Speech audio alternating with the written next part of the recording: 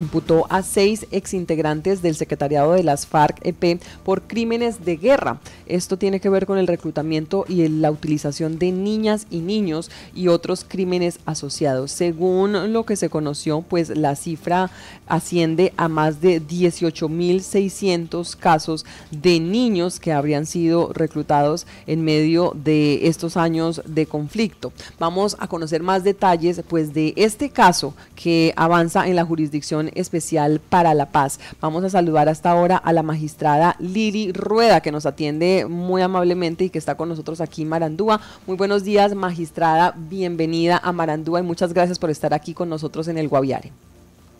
Muy buenos días, ¿cómo están? ¿Me escuchan bien? Sí, señora, la estamos escuchando muy bien. Pues, magistrada, comencemos hablando de esta eh, em, eh, imputación que ustedes le hacen desde la Jurisdicción Especial para la Paz a estos seis exintegrantes del Secretariado de las FARC. Eh, ¿Por qué se da finalmente esta, esta imputación y cómo han venido ustedes haciendo el seguimiento a esas víctimas de este conflicto? Sí, muchas gracias por la oportunidad de contarles un poco más sobre estos hallazgos que tuvimos nosotros desde la semana pasada, los hicimos públicos. Se trata del caso eh, que llamamos en la jurisdicción 07, sobre reclutamiento y utilización de niños y niñas en el marco del conflicto armado. Allí, en relación con la operación de las antiguas FARC, como bien usted lo decía, encontramos un universo que le llamamos nosotros universo provisional de hechos, de 18.677 niños y niñas que fueron reclutados por las FARC entre el periodo de 1971 a 2016.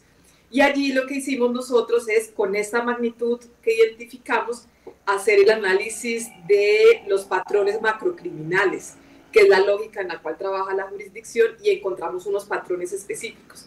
¿Qué hicimos nosotros?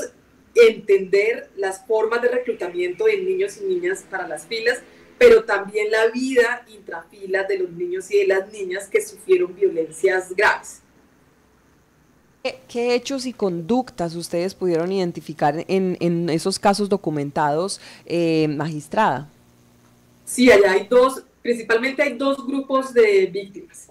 Primero, aquellas víctimas que estuvieron reclutadas y que hoy nos cuentan sus historias y que pues, nos cuentan cómo, fue, cómo fue la vida intrafila desde su voz eh, directa. Y también el otro grupo de víctimas que tenemos participando en el caso son familiares de niños y niñas que fueron reclutados y que hoy se encuentran desaparecidos y que también nos cuentan cómo fue pues eh, los sucesos alrededor del momento de la desaparición. Nosotros tomando los relatos, hoy son más de mil víctimas participando en el caso de estos dos tipos de víctimas que les estoy contando. Reconstruimos las historias de vida de 805 niños y niñas, de las voces vivas de estas víctimas que hoy pues, han ido a la jurisdicción. Y encontramos principalmente cinco patrones macrocriminales por los cuales llamamos a reconocer responsabilidad a seis antiguos miembros del secretariado de las FARC-EP. ¿Esos miembros quiénes son? ¿Qué, digamos, qué papel, qué, se eh, dispuso desde ustedes como la jurisdicción frente a esa responsabilidad que ellos tendrían? Es decir, habían sido determinantes, actores directos. ¿Qué, papel jugaron en todo este reclutamiento? Sí, nosotros en el lenguaje de la jurisdicción, que es el lenguaje al final del acuerdo de paz y de las normas que lo regulan y de la constitución cuando nos crean, lo llamamos los máximos responsables. Y en este caso lo llamamos los máximos responsables por una categoría particular que se llama por liderazgo. Es decir, ellos desde la posición estratégica, recuerde que eran parte del secretariado, es decir, estaban en la cúspide de la organización, lideraban la organización que era jerárquica y que tenía unas formas de disciplina y digamos de, control. Eh, desde esa posición tenían un control privilegiado y estratégico de la acción de la organización. Así que con sus directrices, con sus acciones, con sus actuaciones, o dieron, digamos, las directrices para cometer estos crímenes o generaron las condiciones para que estos crímenes se cometieran. Así que es importante este rol de liderazgo porque apunta hacia la máxima responsabilidad de estos hechos que encontramos nosotros gravísimos. Y esa imputación frente a ustedes como Justicia Especial para la Paz, magistrada, ¿qué, implica? Es decir, ellos están dentro de un proceso que, que ha venido en, en, estos últimos años, pues también eh, compareciendo ante ustedes. Sí, claro, ellos eh, vienen, el caso se abrió en el 2019. Este es un proceso que le llamamos nosotros de justicia dialógica, que es una justicia diferente en donde comparecientes de las antiguas FARC, personas que son presuntamente responsables por estos hechos, víctimas, nosotros, el Ministerio Público, participa en una construcción de la verdad, en la reconstrucción de lo que sucedió y encontramos después unos hallazgos en materia de responsabilidad penal individual, que fue lo que comunicamos la semana pasada. Llamamos a reconocer responsabilidad penal individual a los seis antiguos miembros del secretariado que convocamos por los cinco patrones que le comentaba. Primero, por el reclutamiento y utilización de niños y niñas al interior de las filas eh, de las FARC. Eh, un hallazgo importante allí es que encontramos también reclutamiento de niños y niñas, incluso menores de 15 años. Ese es el primer llamamiento. Y también hacemos unos llamamientos por eh, unos patrones que encontramos de torturas, de homicidios, de malos tratos que sufrieron eh, los niños y las niñas al interior de las filas. Y también tres patrones adicionales que encontramos relacionados con violencias basadas en género. ¿Qué quiere decir? Experiencias diferenciales de niñas, eh, de niños de población diversa, con orientación sexual o expresión de género diversa. Ellos sufrieron también violencias reproductivas, violencias sexuales o violencias por prejuicio. Entonces llamamos a reconocer y allí se abre la posibilidad de que ellos reconozcan, aporten a la verdad, aporten a, a los derechos de las víctimas y caminen por una vía restaurativa. Si no lo hacen, caminan por una vía tradicional en donde pueden ser vencidos en juicio y eh, en un juicio adversarial y allí enfrentarían una pena privativa de la libertad de hasta 20 años de cárcel esa, esa, esa, opción restaurativa eh, magistrada, ¿qué, implicaría? Es decir, ¿qué podrían esperar las víctimas, sus familiares, en este caso de estos seis imputados? Sí, allí lo que se activa es eh, una valoración en primer lugar de la sala sobre si hay reconocimiento y aporte a la verdad, si este es integral, suficiente para poder activar esa vía. Ese es un primer pronunciamiento que haría la sala una vez tenga las consideraciones de la defensa y de los comparecientes sobre las imputaciones que se han hecho.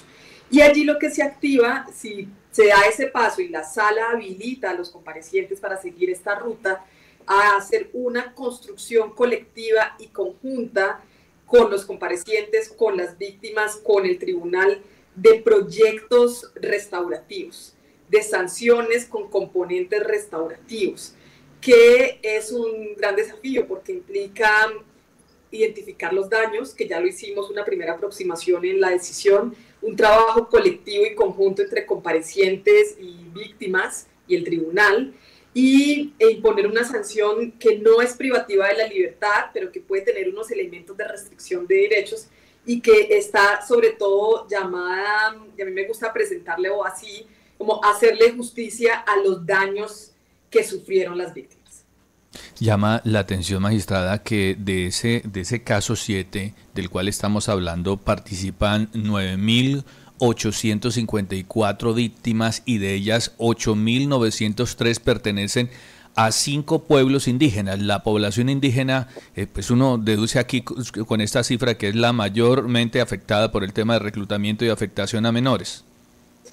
Así es, nosotros en el caso eh, están participando cinco pueblos indígenas, están, está el pueblo Coreguaje, está el pueblo Cubeo, están los Juane, están los Hipnu y están los Bari participando con nosotros. Ellos nos han narrado cómo ha sido la experiencia diferencial cómo les ha impactado desde su cosmovisión el reclutamiento de niños y niñas. Ahí en la decisión ustedes ven una parte que le dedicamos a este enfoque étnico-racial, porque es diferente la afectación que se tiene frente a una colectividad indígena a cómo se afecta, digamos, individualmente una persona.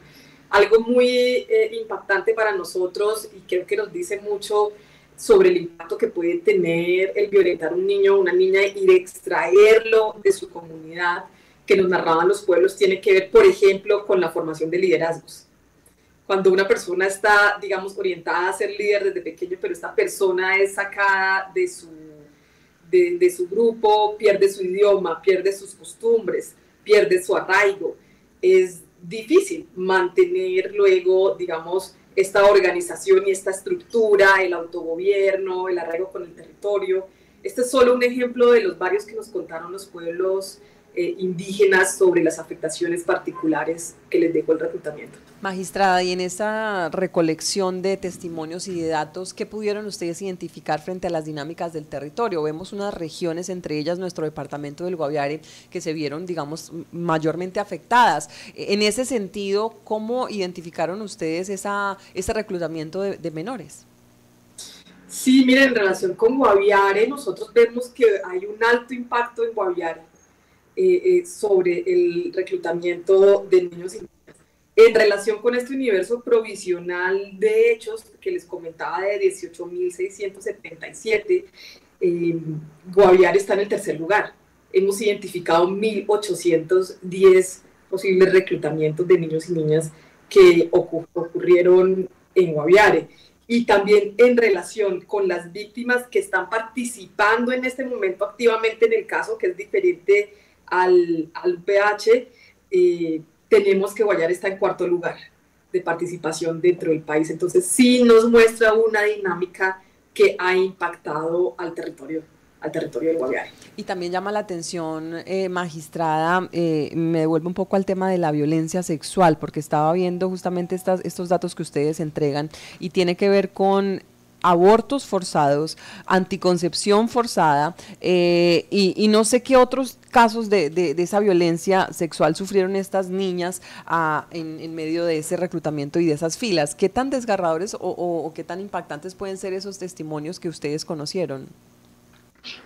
Pues lo que nos, eh, lo que nos, nosotros teníamos unas hipótesis investigativas, tal vez empezar por ahí, en donde al iniciar la investigación nos planteábamos una hipótesis de las mujeres y las niñas tienen experiencias violentas diferenciales. Y esto no es, digamos, súper eh, novedoso porque hace parte como de, cómo funcionamos como sociedad también. Pero la pregunta es qué pasa cuando esas mujeres y esas niñas, particularmente para el caso, pues ingresan a un grupo armado y viven, y viven la guerra desde el grupo armado. Y efectivamente encontramos allí que cuando ponemos ese enfoque diferencial que le llamamos nosotros de género, que es entender esas experiencias diferenciales por ser niña o por tener una orientación sexual diferente, por ser homosexual, por ser lesbiana, la violencia se exacerba. Y encontramos nosotros y llamamos a reconocer a los comparecientes por unos patrones de los que usted está mencionando, particularmente eh, en relación con niñas, por ejemplo. Dos, el de violencias reproductivas, que tiene que ver con anticoncepción forzada, eh, que tiene que ver con la realización de eh, abortos o procedimientos de interrupciones de embarazo también forzados, eh, o hacer estos dos procedimientos en condiciones que, digamos, no son, no, no son adecuadas, no son dignas, que constituyen malos tratos también. Básicamente lo que encontramos allí era que una directriz de la organización de que a las filas no se iba a ser madre o no se iba a ser padre. Y esto en la práctica implicó que se tomaran acciones violentas en contra de las niñas y de las mujeres que quedaron embarazadas para prohibir que esos embarazos llegaran a término con esas violencias particulares que usted está, eh, de las que usted está hablando. En relación con la violencia sexual también encontramos que se dio dentro del grupo y que afectó particularmente a niñas y a mujeres y de manera diferencial a personas con orientación sexual diversa. Frente a, ese balance de esos hechos, digamos, de esos 18.600, eh, un poco más que, ustedes hoy reportan, magistrada, ¿qué porcentaje, si lo existe, eh, o al menos un promedio, niños versus niñas? Los más reclutados, ¿cómo está ese tema de género allí? Sí, nosotros encontramos una proporción un poco mayor en relación con niños en ese universo grande del que usted nos está eh, hablando. Y también ustedes van a ver en la decisión que hicimos los análisis correspondientes por edad, por sexo de las víctimas que han venido a buscar justicia. ¿Qué le puedo decir sobre eso? Que hay una proporción que es un poquito mayor de niños, pero en realidad están pues muy cerca eh, y encontramos también sus edades, que es importante tener en cuenta aquí que encontramos que niños y niñas menores de 15 años fueron ingresados a las filas. En el universo del UPH, que llamamos nosotros ese universo provisional de hechos, está eh, cerca del, del 53% el ingreso de niños y niñas de 15, 16 y 17 años, que es un punto importante porque había una directriz formal de la organización de que no se ingresaban personas menores de 15 años, sino de 15 a 30 años. Y aquí también algo interesante es que quienes más han acudido a la Jurisdicción Especial para la Paz son el grupo de personas, digamos, de los que hoy participan activamente en el caso, no de este gran universo consolidado que hicimos, que nos muestra magnitud, son personas que fueron reclutadas teniendo 14, 13, 12, 11, 11 años, o sea, menores de 15 años. Ellos equivalen cerca al 70% de las víctimas que participan en el caso mm, hoy. En la decisión ustedes van a poder ver allí como los diferentes análisis que hacemos de territorio, de edades em, eh, y en relaciones también con las diferentes violencias que les estoy contando. Ahí, eh, en este caso, eh, magistrada, es decir, una respuesta frente a esta imputación, ellos tienen, o no sé si ya, ya lo hicieron y se pronunciaron, eh, la oportunidad de reconocer esa comisión de esos delitos o negarla y entonces eso le daría pues otro camino a este caso? Pues ahí se abre como una disyuntiva, ese es el cómo funciona la jurisdicción. En este momento eh, los comparecientes a que le llamamos a reconocer tienen 30 días hábiles para eh, presentar al proceso. No solamente a los medios, eh, tengo entendido que hay una comunicación pública de su parte de, de, una página, estaríamos esperando que presenten al proceso todas sus consideraciones sobre el auto después de haberlo examinado con mucho detalle. Y como le digo, si la sala valora que eso implica que es eh, un reconocimiento integral que puede satisfacer el derecho a la verdad y los derechos de las víctimas, empieza a habilitar un camino restaurativo. Si considera que no, se habilita un camino adversarial. Pues esta, esta es entonces la, la, situación. Son 30 días que ya comenzaron a correr, ¿cierto? Y yo, yo creo que vale la pena hablar de esos seis ex miembros eh, del secretariado de las FARC que fueron finalmente imputados. ¿Usted nos puede decir los nombres de estas personas eh, quienes son señalados pues de esos máximo como máximos responsables? Sí, allí está mm, Rodrigo Londoño, quien fue el máximo comandante de las, el último máximo comandante de las antiguas FARC. Se encuentra Pastor Alape, se encuentra Pablo Catatumbo, se encuentra Milton de Jesús Doncel, se encuentra, mm, no recuerdo los otros eh, dos en este momento, ya le, ya le hago la. Está Rodrigo Londoño, Jaime Alberto Parra, Rodríguez Milton de Jesús. sí, de acuerdo. Muchas gracias. Lo importante aquí de tener en cuenta es que ellos fueron parte del último secretariado de las antiguas FARC.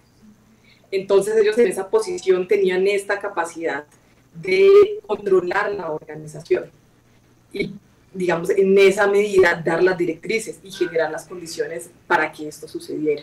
Y allí van a ver ustedes cómo es que lo llamamos a responder penalmente y de manera individual por su rol de haber estado dentro del secretariado comandando la organización guerrillera. ¿Ha habido en algún momento de esas entrevistas que se han tenido con, con, ellos frente a la jurisdicción magistrada donde ellos reconozcan este reclutamiento de menores de 15 años, que entiendo también eso, o, digamos que, que, es un determinante o un agravante en, en este delito? Eh, lo que yo le puedo decir es en la última comunicación que ha presentado al público. Yo no sé si ustedes han tenido como acceso a esa. Eh, hay dos mensajes que yo que, que yo creo que es, es un, como el inicio de un proceso que tiene que ver eh, con una manifestación de ellos sobre que estos hechos no debieron haber ocurrido. Ese es un primer, sí, sí, sí. primer ah, punto que pusieron sobre la mesa. También hicieron un llamado a la prevención y lo que resta ahora es que se estudien con detalle ellos y sus abogados todos los hallazgos que tenemos dentro de la decisión que son hallazgos que son tomados de las voces vivas de las víctimas. Ustedes van a ver que es una decisión que está construida desde los relatos detallados que nos dieron más de mil víctimas dentro de la jurisdicción y esperamos nosotros que se habilite, pues en el mejor sentido de la justicia restaurativa y dialógica que administra la jurisdicción, un proceso de reconocimiento, un proceso reflexivo, un proceso de, que de verdad le aporte a los derechos de las víctimas. Ahora bien, esto está en manos de los comparecientes en primer lugar. Eh, entonces, eh, esperaríamos nosotros el pronunciamiento oficial dentro del proceso. Magistrada, en el caso de Rodrigo, Rodrigo Granda, ¿qué encontró la sala? ¿Que no participó? Nosotros encontramos, él tenía una función eh, que era suplente del secretariado, esa es como, está, como estaba denominada. Y ahí hacemos la claridad de que aunque eran siete los antiguos miembros, últimos miembros, digamos, del secretariado como órgano de elección, incluido el señor Rodrigo Granda, él no firmó, por ejemplo, las conferencias nacionales guerrilleras o no tenía mando efectivo y control sobre eh, la vida diaria de la tropa, en donde se sucedieron pues estos hechos de violencia que les estoy contando. Y en esa medida no encontró responsabilidad penal individual en relación con el señor Granda y no le hizo llamado a um, reconocer. Y frente al tema del tiempo, magistrada, entiendo que esto es, eh, eh, digamos que en un marco de tiempo limitado, pero no sé, bueno, primero saber cuál es ese tiempo que ustedes han, eh, investigado. El, sí, desde el 96 hasta el, 2016. 2016, ¿entiendo? Nosotros hemos concentrado la investigación en 20 años para el hecho del reclutamiento, desde el 96 al 2016 porque encontramos que allí se dieron los picos más altos de reclutamiento de niños y niñas. Sin embargo, en relación con las violencias asociadas intrafilas, ustedes van a ver que tomamos todos los registros de víctimas eh, acreditadas, que son desde el 80 más o menos. Entonces, para el reclutamiento pudimos poner como este análisis enfocado sobre estos 20 años que fueron lo más duros para los niños en términos de incorporación a las filas.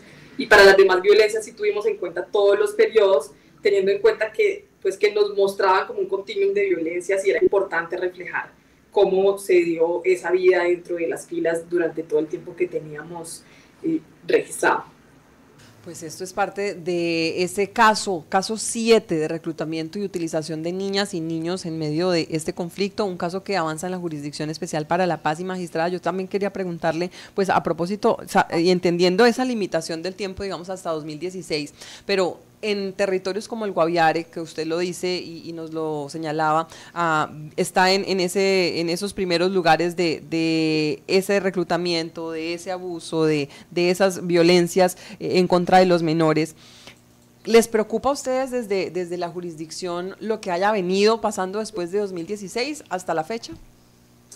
Sí, no es de nuestra competencia mm, investigar esos hechos. Nosotros tenemos una competencia, competencia quiere decir lo que podemos hacer nosotros realmente judicialmente, hasta el 2000, desde el primero de diciembre del 2016 hacia atrás, por los mandatos particulares del acuerdo de paz. Pero mire que nosotros encontramos en los hallazgos que ponemos pues eh, a conocimiento del país las características particulares de los contextos que hicieron posible que el reclutamiento se diera a la magnitud y a la escala que hemos encontrado nosotros. ¿Qué encontramos? Territorios en donde no hay presencia del Estado. Esos son territorios en donde hay pobreza, en donde los niños, las familias no tienen oportunidades, no pueden ir a la escuela, no pueden ir al colegio. Una promesa de trabajo, por ejemplo, representa un cambio de vida de vida gigante porque no hay perspectivas de tener trabajos dignos, remuneraciones económicas hacia el futuro que, digamos, esto hace como un contexto en donde se acrecientan las vulnerabilidades de esas familias y de esos niños y hace que pues en el caso que nosotros investigamos un grupo armado como las antiguas FARC pudiese aprovecharse y traer más niños a las filas. Pero esto lo estamos viendo que son circunstancias que se repiten en el país, en territorios como el Guaviare. Y cuando vayan a ver ustedes el capítulo de enfoque étnico, van a ver también que caracterizamos las circunstancias de los pueblos. También tienen problemas similares de discriminación histórica, de pobreza, de abandono por parte del Estado, en donde promesas sobre mejoramiento de vida, acceso a salud, a educación cobran un sentido porque no se tienen dentro de la comunidad. Y son promesas que hacen, por ejemplo, los grupos armados, sin decir pues que la mayor forma que encontramos de llevarse a los niños y las niñas era por medio de la, la fuerza o la amenaza del uso de la fuerza. Entonces vemos que por más de que sea con un periodo previo, en unas circunstancias, digamos, de una organización que ya no existe como eh, con, este componente armado, el, el, problema sigue vigente. Y la jurisdicción, de hecho, también hace un llamado allí en la decisión a que toda la sociedad, todos los actores, las políticas públicas, el Estado, eh, se pongan en lógica de tomar acciones para la prevención del reclutamiento y la utilización de niños y niñas en el combate, en las hostilidades y en la guerra. Y, magistrada, eh, eh, pues compartimos esa preocupación, por supuesto, porque pues es lo que, lo que también se conoce aquí en territorio. Y en medio de, de esas, digamos, eh, análisis que ustedes presentan y esos hallazgos que, comparten en estos informes, el Estado, el papel del, Estado en, medio de, estos eh, fenómenos y situaciones, ¿cuál es? ¿Ustedes cómo lo analizan? Ahí encontramos varios asuntos en donde hacemos, visibilizamos roles del Estado. Uno es este el que estamos hablando de los contextos, ¿no? Como el Estado se supone que debe ser un Estado protector de la niñez protector de las familias, que da oportunidades, que brinda salud, que brinda educación. Cuando este Estado no está presente, se hace como el caldo de cultivo para que eh, se acrecienten las vulnerabilidades de las familias y de los niños y terminemos en fenómenos violentos como este, pero imagino que también pueden haber otros fenómenos violentos como diferentes al reclutamiento que afectan a los niños y a las niñas.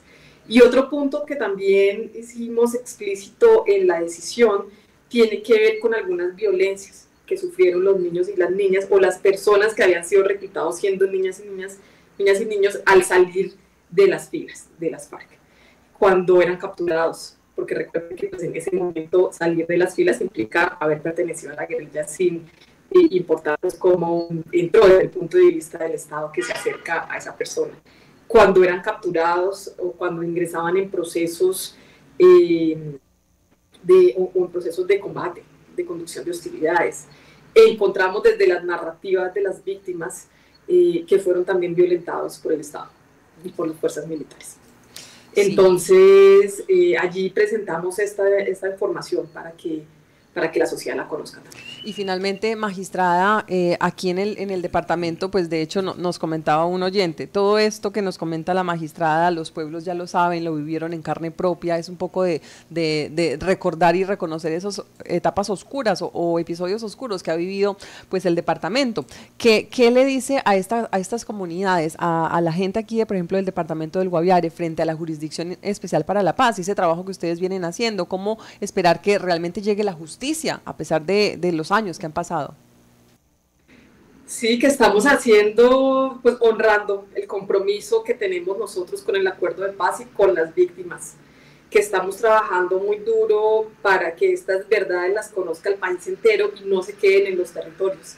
Es cierto que necesitamos que desde los territorios estas voces se alcen y que lleguen a los debates que se están teniendo aquí en Bogotá, en los debates que se tienen en el Congreso, eh, a los oídos de los comparecientes.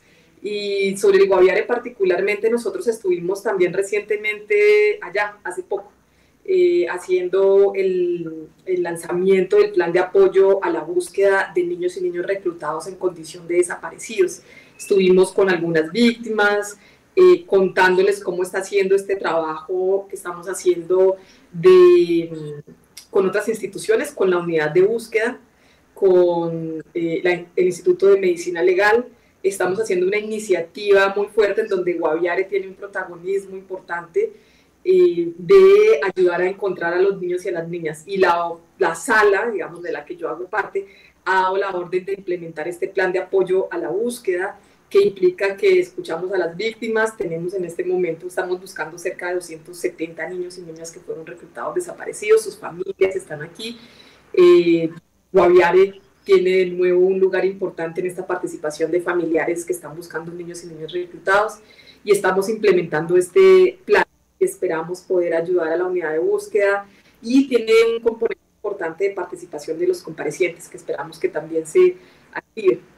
para que ellos puedan ayudarnos a dar información que nos dé eh, los lugares en donde se encuentran estos niños y estas niñas o sus restos y podamos hacer las entregas dignas a sus familiares, sobre todo mamás y hermanas que los están buscando. Así que eh, Guaviare está muy en, en, en, nuestro, en nuestro radar, en nuestra información y estamos trabajando de la mano con las autoridades también territoriales allá. Magistrada, ¿hasta cuándo tienen ustedes mandato o la vigencia de la JEP? Nosotros tenemos un mandato de 15 años en primer lugar que se podría prorrogar y que tiene, digamos, otros puntos, pero nosotros estamos con un mandato temporal que estamos intentando cumplir y adelantar todas nuestras investigaciones bajo ese, ese término limitado, si usted lo piensa que es para poder entender y hacer justicia en relación con 50 años de conflicto armado. Y otra pregunta, magistrada, ustedes en este periodo que han tenido, han contado con las herramientas eh, necesarias para el desarrollo de todo este proceso que ustedes realizan y puede ser objeto de mejoras? Todas las instituciones pueden ser objeto de mejoras.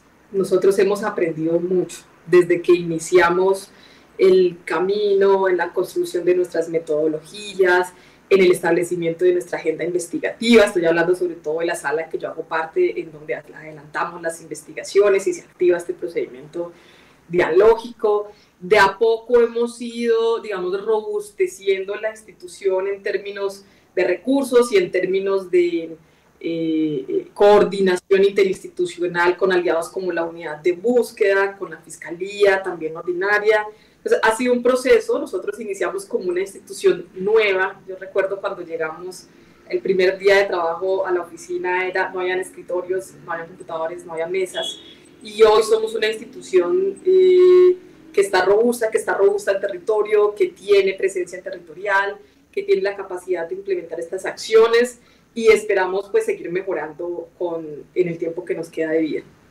¿Qué le ajustaría, magistrada?